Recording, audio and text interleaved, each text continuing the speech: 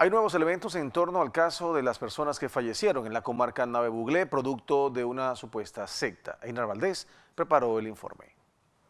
Luego del descubrimiento de una fosa común donde estaban los cuerpos de siete personas, entre ellos seis menores de edad, la Fiscalía ha revelado que fueron asesinados por su abuelo, cual se encuentra detenido para investigación. Cuando llegó el Ministerio Público con la Policía Nacional, ubicamos, por referencia de los eh, ciudadanos, una estructura que la utilizaban como iglesia y en esa estructura se estaba dando un rito. En este rito había personas que estaban retenidas contra su voluntad, estaban siendo maltratadas.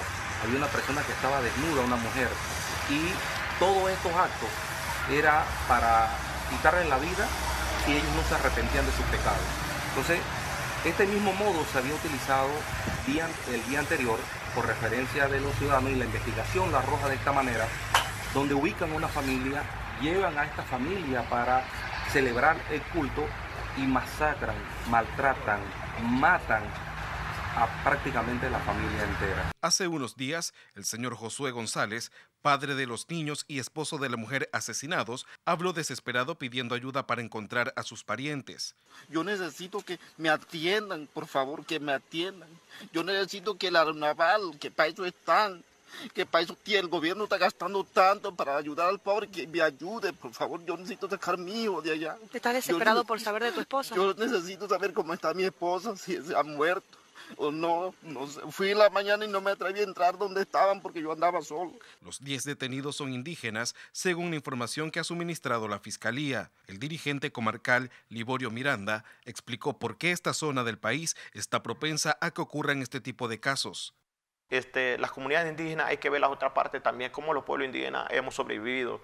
Más de mil años hemos sobrevivido con todas las investidas, con el terrorismo, con la masacre, colonización, con el cambio climático, y, número, y no hemos mantenido allá, no nos hemos ido de ahí. Al contrario, nosotros vamos a cosechar café en el área de Boquete, vamos a trabajar en las zafras, vamos a Costa Rica, pero regresamos a nuestro territorio. Entonces, nosotros contra toda la investida del terrorismo, falta de política de pública, falta de política de Estado, contra la discriminación contra las poblaciones indígenas, la exclusión social contra los pueblos indígenas. El propio cacique de la zona, donde ocurrieron los hechos, reveló que supuestamente se trata de una organización bajo el nombre Luz del Mundo no obstante, miembros de esta organización rechazan su vinculación con el caso.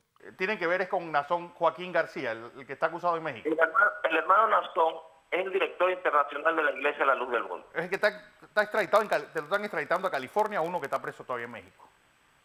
Eh, no menciona nada de extradición, no sé de dónde saca usted esa información de extradición. Pero es, es ese network. ¿Cómo? Es esa, esa, esa organización del, del, del caballero este de Nazón. Él es el director internacional de la iglesia. Se encuentra y detenido en, Guadalajara, Estados Unidos. ¿En Estados Unidos o en México? No, no, no, no, no. En Guadalajara está la sede internacional de la iglesia. Dentro de los detenidos hay tres menores de edad que en conjunto con los otros siete serán llevados entre viernes y sábado a las salas del sistema penal acusatorio en Bocas del Toro. Einar Valdés López, Next Noticias.